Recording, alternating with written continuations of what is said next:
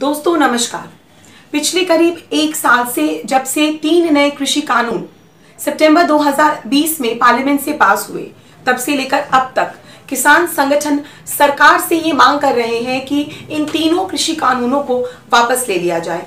मगर सरकार किसानों की बात सुनने को तैयार नहीं है।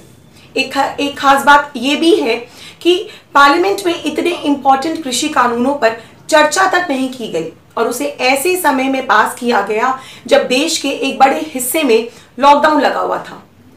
कृषि बिल हमारे देश के एक बहुत बड़े वर्ग को प्रभावित करता है।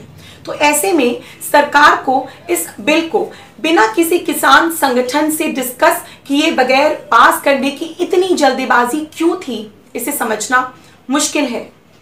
कृषि बिल के मेरिट्स और डीमेरिट्स पर मैंने अपने एक वीडियो में डिटेल जानकारी ऑलरेडी दे दी है। आप उसे आई बटन पर क्लिक करके देख सकते हैं। मगर फ़िलहाल आप जुड़े रहे मेरे साथ इस वीडियो में। किसान आंदोलन में बात अब कहीं आगे बढ़ चुकी है।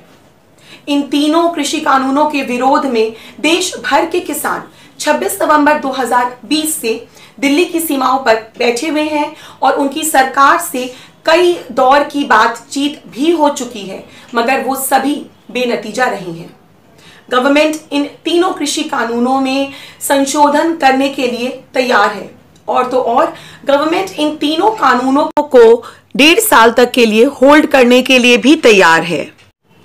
मगर किसानों की मांगे ये है कि ये तीनों ही कानून उनके खिलाफ हैं और इन्हें रद्द करने से कम उन्हें कुछ भी स्वीकार नहीं है। गवर्नमेंट जब इन तीनों कानूनों में संशोधन करने के लिए तैयार है इन कानूनों को डेढ़ साल तक के लिए होल्ड करने के लिए तैयार है। तो उसे इन फार्म लॉज को रिपील करने में क्या दिक्कत आ रही है? हो सकता है गवर्नमेंट ये सोचती हो कि ऐसा करने से उसके मज़बूत सरकार की छवि को धक्का लगेगा।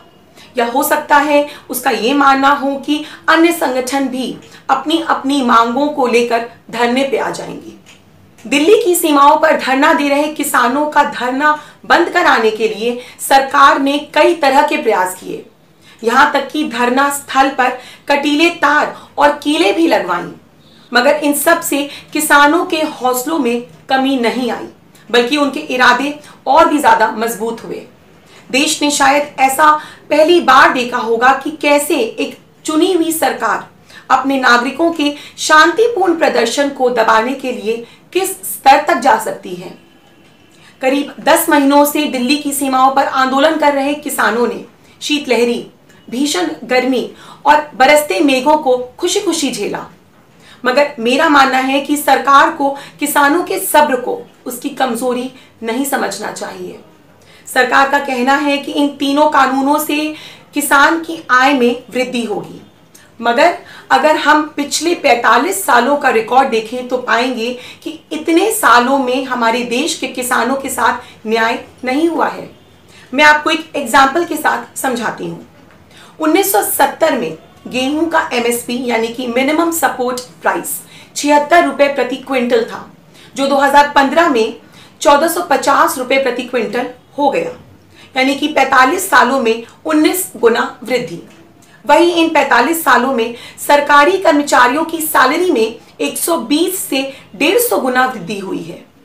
यकीन मानिए, अगर सरकारी कर्मचारियों की आय में वृद्धि भी 19 गुना ही हुई होती तो वो कब का नौकरी छोड़ चुके होते? अगर हम महँगाई को पैमाना मानते हैं तो उस हिसाब से आज गेहूँ का एमएसपी छिहत्तर सौ रुपए प्रति क्विंटल होना चाहिए था। इससे हम क्या समझें? क्या महँगाई केवल सरकारी कर्मचारियों के लिए बढ़ी है? किसानों के लिए नहीं। मुझे सरकारी कर्मचारियों को मिलने वाली सैलरी टीए डीए से कोई दिक्कत नहीं है। मगर हमारे किसान भी इसी देश के नागरिक हैं। उनके भी अपने परिवार हैं। उन्हें भी अपने बच्चों को पढ़ाना है। उनके घर के लोग भी बीमार होते हैं। आप ही बताइए, वो अपना जीवन यापन कैसे करेंगे? इन सब के बावजूद किसानों ने हमारे देश को फ़ूड सिक्योरिटी में आत्मनिर्भर बनाया है। और आज हमारे पास फ़ूड ग्रेन्स का प्रचुर स्टॉक है। किसान सरकार से ये उम्मीद छोड़ चुके हैं कि वो उनके लिए कुछ करेगी।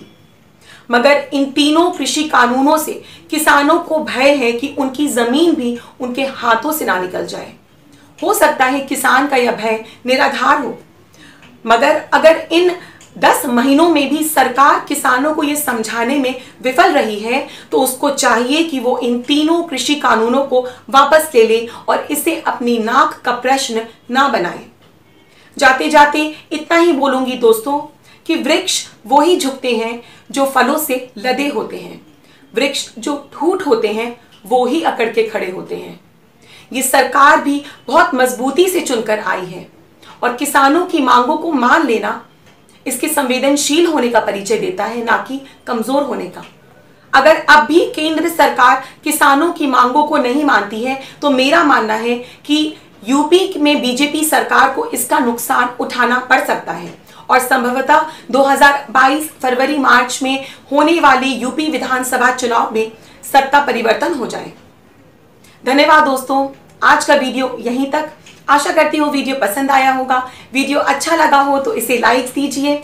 अगर आप मेरे चैनल पर नए हैं तो मेरे चैनल को जल्दी से सब्सक्राइब करिए और बेल आइकन हिट करिए जिससे आप तक मेरे नो, नोटिफिकेशंस पहुँच पाए। आपको आज का वीडियो कैसा लगा मुझे कमेंट सेक्शन में लिखकर ज़रूर बताइएगा फ्रेंड्स आप मुझे ट्विटर पे भी ज़रूर फॉलो करिए। मुलाकात होगी बहुत जल्दी नेक्स्ट वीडियो में। जय हिंद।